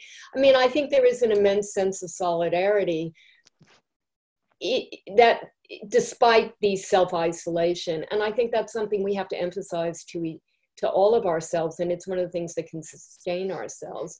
There's another thing that I, uh, I didn't mention, which I think is absolutely critical, and it becomes challenging when you're self isolating. But exercise is absolutely critical to maintaining your equilibrium in a very, very stressful situation. So, anything you can do, if, if you can get outside like Dale can, and you can go hiking and be in nature, that's absolutely wonderful. If you can, I live in New York City, I can get out to a park, you know, heavily masked and everything. If you can do yoga at home, whatever it is, you know, whatever physical activity it is that can calm you down. But that is one of the best ways to beat stress and to deal with traditional trauma. So again, I would urge people to be as physically active as they possibly can because it's going to be one great way to, to cope with the situation. One other quick question. What, what advice do you give to editors and people who assign stories? How should they be working with their journalists to be aware of this? I think don't push people. If they indicate that they don't feel comfortable about something, trust them. Um, don't push people to go beyond their comfort zone and tell them every single time, every single day you speak to them how important their work is. Rem- remind them that you're there watching their backs. Uh, remind them that you value them as people and them as professionals. I think people really need to be supported by by their employers, and it's really really important to express your appreciation for them. There's another element to that that that's. Uh fascinating and frustrating to me. There's been more of an awareness, at least amongst national organizations. You know, I, I still do some work at NPR, and not to not to pick on them, uh, they they all seem to do this. Ten years ago, they didn't have resources available. There was not. It's something that journalists didn't talk about. Organizations didn't have anything. Today, there's tons of resources. Uh, and they're they're uh, readily available to at least to employees. I know a lot of photographers are freelancers, but at least to employees, it's out there. But what they do, and I get these emails regularly, is they send these notes saying, "Don't forget, we've got these resources. We've got this great counselor you can call. We have these other resources you can avail yourselves of," which to me is akin to telling your friend who just lost their spouse or their parent, "Hey, call me if you need me." The reality is, when you're in the middle of something like this, you may not have the wherewithal to call someone. You may not reach out. Uh, there needs to be a more proactive way for for editors, for bosses, but I would say for all of us, if we see a friend who might be suffering, that we make certain that we reach out and not put the onus on them to call you. Absolutely, absolutely. So, uh, one one more quick minute. Is there we've done sort of like a brief overview. Is there anything i've missed that you want to make sure that we emphasize here? Again social contact which is just what you've been talking about. Social contact just to run it through routines get enough sleep get exercise eat well and be kind to yourself. Be kind really be empathic to yourself and sympathetic to yourself. If there are days when you're just not productive or you feel your work hasn't been good cut yourself some slack. You're living through a very difficult time. Judith, thank you. Uh, I want to go to uh, uh, up to nope, Thomas. You're back in. Glad to see you back with us. Um, we we were talking when uh, when you disappeared there a bit about um, um, how people are uh, uh, what their motivation are for is for continuing to take photos. And and i cut you off to to get over to alex and i wanted to ask you about that about your motivation to do what you're doing right now. And then we're going to get over to the to the editors uh, from magnum. But but could you respond just just your motivations what your reasoning is for the kind of work that you're doing while you're uh, uh, in isolation there? What what do you hope the people will get for instance from those photos of those people in isolation. Yeah, so, uh, sorry, I had to step out for a second. I was That's actually fine. trying to um, get access to a funeral, actually, and uh, which is something I've had in my normal life before, which just it wouldn't happen on two computers simultaneously. Um, I think probably from well, I, I think why I made that choice in this specific situation now was that I I, I really thought I can't I can't add on anything on in being out in the streets. Sort of like I thought I'm I'm kind of doing what everybody else is doing and. And then I think, in a very egotistical way, for me, it's always curiosity. I mean, I was more curious about what is happening there. What is this strange world? What is this? And then maybe also the challenge to the challenge to get it right in to photograph something. Of course, it's kind of stupid to sit at home and take pictures of my screen or do Apple Shift Apple three or whatever for five thousand times a day. And um, but and uh, but I still think it's something that's so I don't know. I'm, I'm maybe the parts of this. It's what what makes me. Maybe the failures are interesting. I think sort of the what doesn't work. I find it interesting I think all in all, like it's it's going to be a doc. Hopefully, it's going to be some sort of document of this time of this reaching out into a into a, a, a world we don't don't know. There is no other way to do it than to be on these calls or be in this in this strange space. So, um, yeah, I don't think it's the it's going to be. I think at the beginning it was more like, well, this is the future. This is something. This is almost this new world. Of course, we're going to go back to a normal world, and I'm going to go back and go out and take pictures. I mean, that's normal pictures so and uh, but then the, yes the curiosity and i'm trying to be i'm trying to stay clean in a way that i don't want to i don't want it to be a, a, a, gimmick. So i'm really only doing i'm trying only to do things that really aren't possible in another way. So as soon as it's as soon as i realize somebody else could actually go and photograph this in another way well, i'm not going to do it because i don't want to okay uh, so uh, one, one quick thing is that that I, I I will admit to feeling a bit stupid here. I, when you talked about photographing these Zoom things, I had this image in my head of your your monitor there and your camera on a tripod and everything set up. You're just sitting at five. this is what you're doing. To... I just did it. Control Apple three. Okay. No, I do have a camera. I have a, I have a, I have a camera for the to give some variety to it, but it's, it's pointless. I mean, it's not it's not better. It's not. Uh, that's not the point. that's that's much easier than I than I was imagining. okay, Thomas, thank you. So uh, we're we're pushing on time here. I would like to get to our editors because I think that's a really interesting. Uh, conversation to be had too. Dale, thank you. Dale, if it, yeah. could I add something uh, just to of what course. Judith was saying, uh, just quickly, um, because I think uh, uh just a quick bridge between my current life and my previous. First of all, I think that when we talk about stress, there's an absolute difference between stress and trauma. Um, you know, stress is, we deal with stresses every single day. And, um, uh, you know, they come in in our lives in different sizes and in different ways. And, um, and, and eventually, yes, or any individual event could lead to trauma. Um, that that being said, um, it is it is our obligation, and it would have preferably happened long before now, is to build that resiliency uh, in ourselves. And we have to understand that everybody, um, you know, it's it's it's it's a it's it's not an on-off switch. It's much like a dimmer switch. At least for me, it is personally. There is no on or off to stress and trauma in life. You know, we're in every, it's an everyday occurrence, and sometimes that light is really really bright, and other times, you know, we can turn down that dimmer.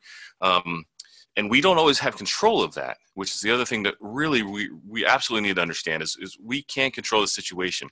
Um, but for me and you know i mean i used to defuse ieds in iraq so this is nothing in relation to that you know that that, that dimmer switch is way the opposite direction. However what's what's important to understand is um, our methods and our techniques that we use to get through the, our days um, is very much a um, I won't say a crutch, but but but a way for us to um, move past and, and deal with the stresses as they arrive. So in other words, um, you know, I came from a life of mitigating hazard. So as I go through my day and I'm mitigating the hazards that I can and reducing those stresses as they come to me, uh, I can very much prevent having a box full of stress to deal with at the end of the day. Um, you, we can't control the environment; we can only control ourselves. Um, and right now, our environment is not normal, and we have to come and we have to grasp that. We have to understand that this is not normal. What we're what many of us are doing, um, but it's it is uh, very possible for us to take it off in little bites and deal with it and mitigate these stresses in little bites uh, as opposed to dealing with them as a, uh, a, a, whole situation that, that seems insurmountable, obviously, for good reason at times. And what you just said about the social network is absolutely critical. Um, you need to have both your um, family life where you're not dealing with all these crazy daily things. And you have to have, in my opinion, a professional time where you can go to peers and say, Can you believe that crap that we just had to put ourselves through? And it's not always fair to take them home um, and it's not always healthy to take them home. So sometimes it's good to have a trusted colleague where you can just dump on, um, and and that is that is critically important. Um, you know, these feelings, like you were saying uh, about um, you know normalizing, giving a stigma, obviously, but we have to be very careful to separate um, stress from trauma because if we don't, if if we just lump them all into one crowd, um, we're going to do two things. We're going to stress the resources within our community who can really help us deal with with with the situations we're going through, and we're also going to possibly we run the risk of diminishing um, those who are dealing with true trauma and, and, and true things. You know, in the military, they put you through the questioning, do you have PTSD? Well, am I sad my friends died? Yes, I'm sad my friends died. Do I lose sleep over that? Yeah. Do I have some images in the back of my brain somewhere still to this day of horrible things happening to otherwise good people? Yes, I absolutely do. Um, and and those are things I, I, I, deal with in little chunks and sometimes you have to put them in a box on the shelf uh, not to get rid of them because they're always going to be there on the shelf. But sometimes to go to work to do the things that we do we have to put things in a box set them on a shelf for a moment do our job and then come back take that box down in little pieces and address them as we can. Um, we still have a job to do. That's very critically important. Um, and and we we have to understand that the stress that we it, it, uh, allow ourselves to to in, uh, come in contact with is is not necessarily within our control. We have to grasp the things that are, bite them off in little bites that we can handle, and then set some aside for later, and then dump some on our friends at other times because um, you know this isn't this isn't normal. But we have to also understand this isn't the end of the world. Uh, and and and when you find the fulcrum in that balancing uh, act, call me let me know because i'm always looking for new for new ways of of dealing with these things in my own life. And and when you deal with this one it will make you more resilient for the next one. So take these as as not only stumbling blocks but as stepping stones to where we're going to be uh, in two weeks or in six months. And and picture that you are now more prepared to help your colleague or your friends through these things um, and and if we if we take them on as as that as opposed to this unbelievable weight on our shoulders i believe is quite therapeutic. At least that i'm not i'm not a i'm not in any way a clinician but i, uh, I am a sufferer and i find that when that happens uh, and when you um, when you turn it into powers for good you're in a better place overall. Thanks. Just wanted to share that. Brian thanks for that. And it it's it it reminds me that that one way of looking at this this is that as journalists we we try to control our environment. And we do that by equipment choice. We do that by the angles that we select. And this is simply another way of controlling our environment of of being aware situationally aware and uh, and and use that tool to help us deal with our emotions as well as everything else that we're addressing. Uh, and, and Brian, you're speaking up reminded me, I want to tell everybody before we get over to Natalie and to uh, uh, Lauren that this will be posted on the uh, Earth Institute blog, and I'll have a list of resources that will include a lot of good information in regard to this. Among them, a go bag. Uh, I'll have a link to one that I put together and one that link that Brian has put together, and this is the equipment you want where you're going out. So again, controlling your environment can help deal with that stress because it it breaks it off into littler pieces. So with that, let me, if I could, Natalie, I see you out there. I don't see Lauren. I, I hope she's still with us. But let's uh, let's talk a bit about uh, dealing with. There you are. Hi, Lauren. Dealing with uh, uh, editors. So so, Lauren, you dealt with uh, the contract with uh, Alex, right? Uh, do you have an order in which you want to talk, or do you um, want to? It's it's up to the two of you. um, I can talk quickly first and just say that you know most of what I do is sort of um, larger projects, and a lot of what I've been doing recently is just um, staying in really good communication with the photographers and checking in with them, and sort of being the in between between the editors who are assigning and the photographers to make sure that you know they're not taking on assignments they don't feel prepared for and also trying to figure out what stories need to be told that can be told in a way where the photographers are feeling you know mentally and physically safe. So you know there, it's been interesting just to figure out you know what that looks like for each individual based on past experience either working in war zones and feeling like that's something that is okay to go do right now and be out in the world or feeling like that's really not something that they're up for in terms of being you know out in the streets.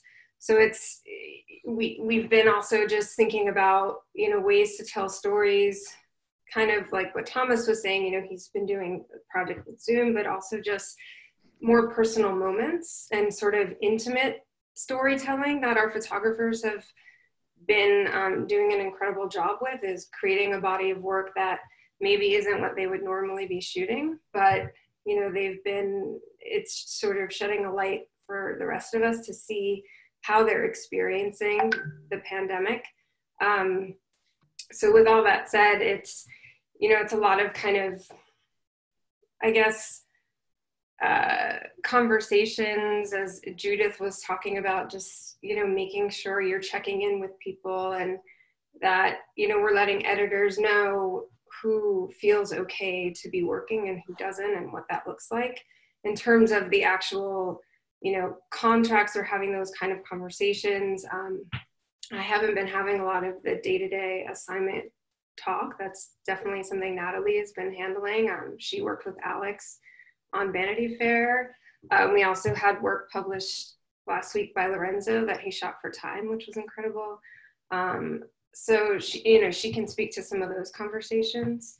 Um, well, I should have, I should have, I should have brought this up, and I'm sorry. I, I, forgive me for doing such a bad job of introducing the two of you. And your your editors working, and you're in that unusual position of being the interface between the photographers and and the uh, magazines or other outlets who want to uh, have these assignments made, right? So you're sort of a buffer. So you're seeing from both ends. So what I hear you talking about, Lauren, is how to uh, uh check in with photographers, make sure that they're functioning okay, make sure that they're you're only assigning things that reach their capacity. Natalie, how about you? How about if you could talk briefly about the other direction, the the the direction of dealing with um, uh, editors and what their expectations have been, and how well they understand or don't understand what photographers are going through. Yeah, I mean, I think I think um, so so like you said i, I work um, closely with the photographers and editors on assignments um, so i worked with alex Majoli on that vanity fair shoot um, and like amongst other projects. Um, but basically i've heard a lot of information from editors about how they're choosing to handle this and how it's different from other assignments. Um, one thing that i think is really different is that typically an assignment will end when it um, when the images are in and the the they've submitted their files right um, i think in this case it ends approximately two weeks after they finish shooting because um, there are still check-ins um, several weeks after someone goes off of assignment to make sure that the photographer is safe and healthy and um, that you know making sure that their health is really the priority in this situation um, so in that case, I think that's a bit different than typical assignments. Um, I also think that one thing editors are thinking a lot about when assigning is that um, is why the photographers are wanting to cover this. Um, like, I think it's important for them to understand why someone's wanting to cover something and in what way, um, and also whether there's someone who is equipped to handle that level of stress. Um, like, if it's something they've done in the past and have um, experience with, or um, like how well the photographer knows themselves and make sure that they are like equipped to handle this emotionally. Um, and I also think that the editor photographer relationship is you know entirely based on trust also like i think both of them need to trust one another and like the the editor needs to make sure that the photographer is someone who's going to take the precautions that they need to be taking. Um, and the photographer needs to make sure that the editor is going to sort of protect them and cover them and make sure that they care about their health care and that they're secure in those ways. So it's it's a lot of a a back and forth relationship that's pretty much built on trust from what I've experienced. And that's from your standpoint in dealing with photographers or from the people who are asking uh, to commission? That's from commissioning clients. Um, yeah, I would say that's the feedback I've gotten from editors um, who are looking to assign. Um, I think that you know it's a lot of check-ins it's a lot of communication it's a lot of over communication making sure that you're um, from an editor standpoint making sure that they're there for the photographer like throughout the whole process. Um, and i think you know it might come off as annoying but it's crucial um, to make sure that they they know that they are um, being represented well and being taken care of. Now magnum of course deals with with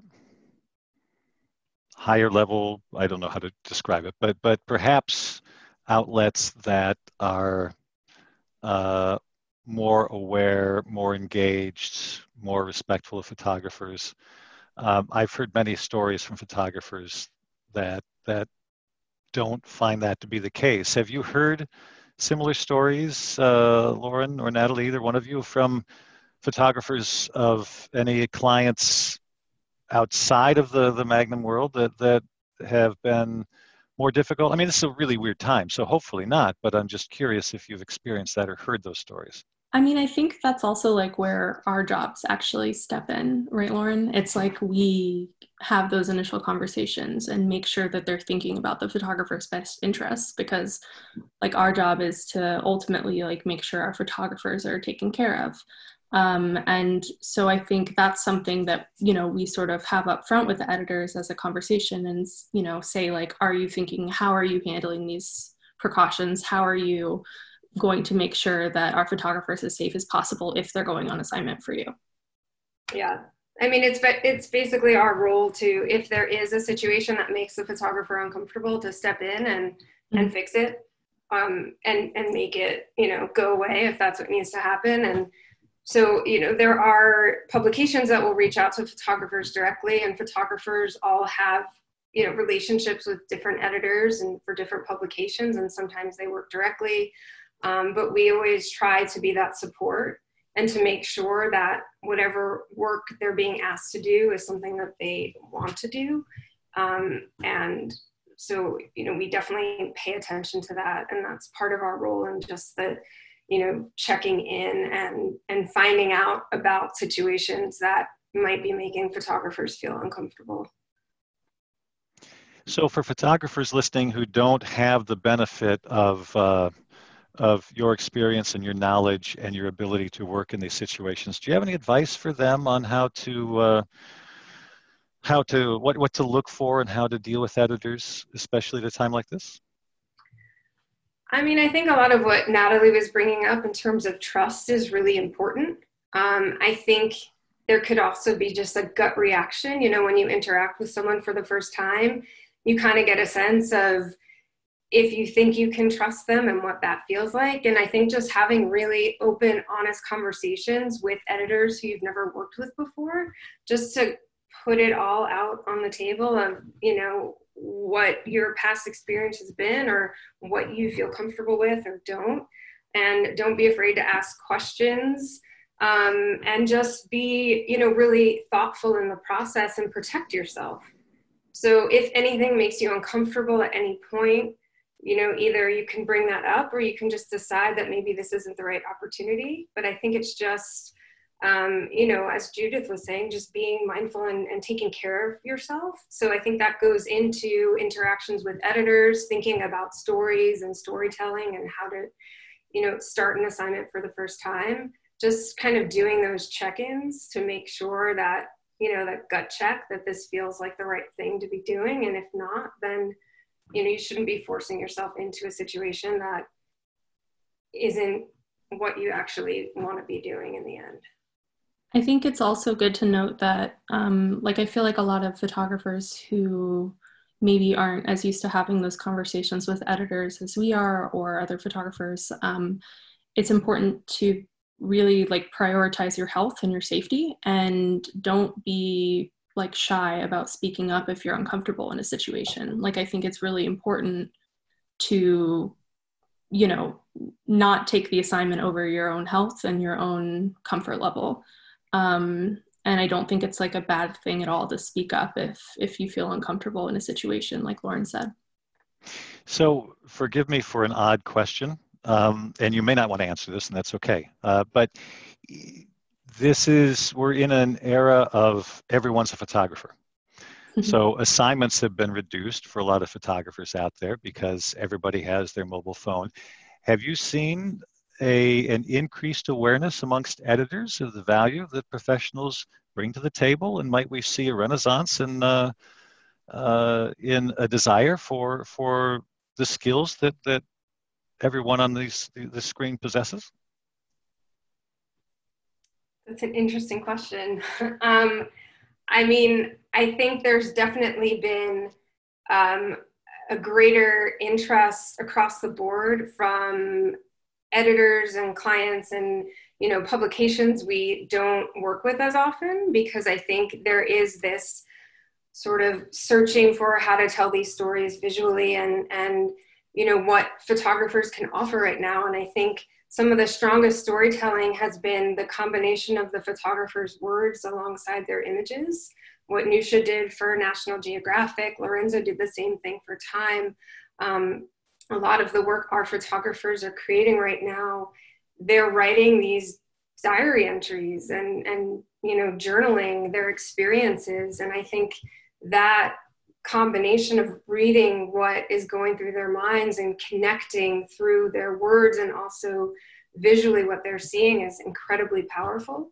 So i think there might be maybe more focus on you know longer photo essays or, or, different kinds of treatment where the photographers are given more of um, a voice text wise as well. Mm-hmm. Um, I don't know if that answers your question, but you know that's something that I've noticed, and and they're we're having a lot more conversations um, than we were a few months ago with with clients trying to figure out you know what to do in this moment. I think it's also it also comes back down to that trust, right? Is like editors um, are like more inclined to to work with photographers who have a little bit of experience um, in some of these areas. Like, you know what I mean? Like Lorenzo Meloni, for example, as Lauren mentioned, um, did this assignment with Time.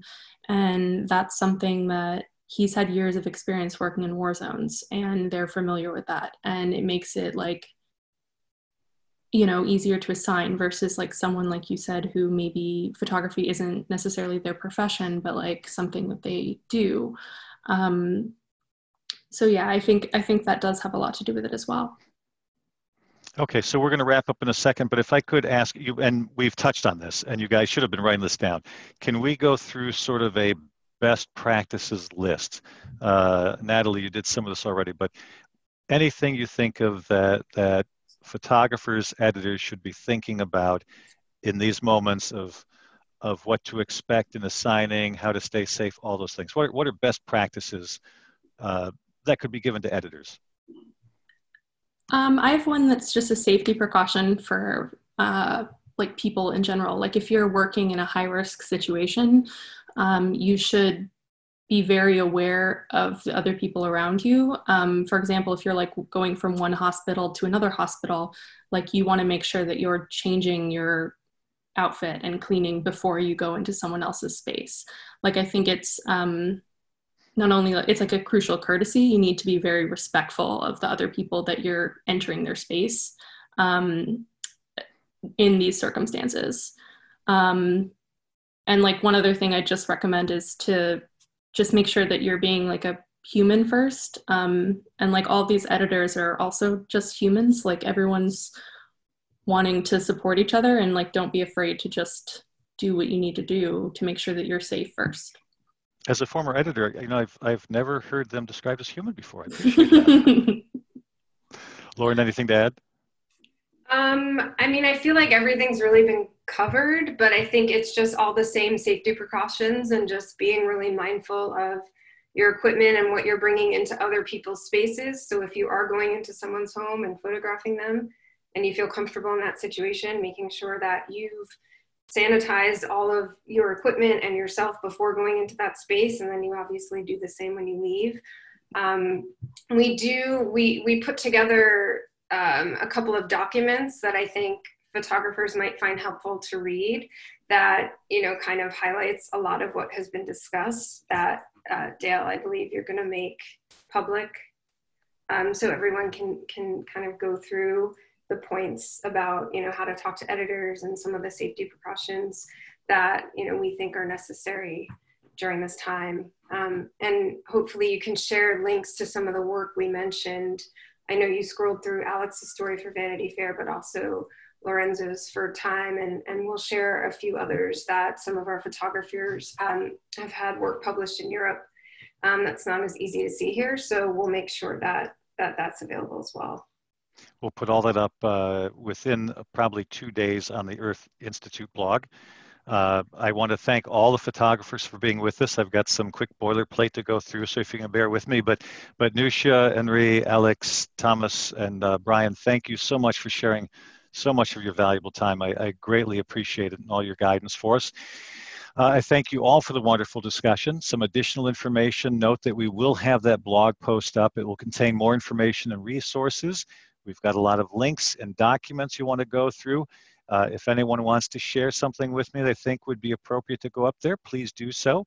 The post will be up in the next couple of days at the Earth Institute blog, State of the Planet. That address is blogs, B-L-O-G-S, dot ei dot columbia dot edu. Again, it's blogs dot ei for Earth Institute dot columbia dot edu. And you'll also be able to watch the video of today's talk there. Also, be sure to check out Andy Revkin's initiative on communication and sustainability at the Earth Institute. That's where you can read more about my program once we get our web pages up in a couple of weeks. We're brand new. While there, please look at some of our other posts. The ones linked to our initiative all have resources uh, pages for journalists and may contain, many of them contain story ideas. So it's a great way to mine for ways of covering these most significant stories of our time. My thanks to Magnum Photos at magnumphotos.com and all they've done to make today's program possible, especially Amber Terranova. Magnum is an important resource for anyone interested in photography, including their classes, some of which I've taken. Also, thanks to the National Press Photographers Association for their help. The membership costs are small, the benefits huge. Please check them out at nppa.org. And finally, to the Society of Environmental Journalists, my partners in so many things. It's my home. We talked about uh, finding your tribe. That's one of mine. If you're interested in environmental issues, it should be yours as well. So thank you all from for sticking with us for such a long conversation. Thanks from the North Country of New York, and I hope you all have a wonderful week. Bye-bye now.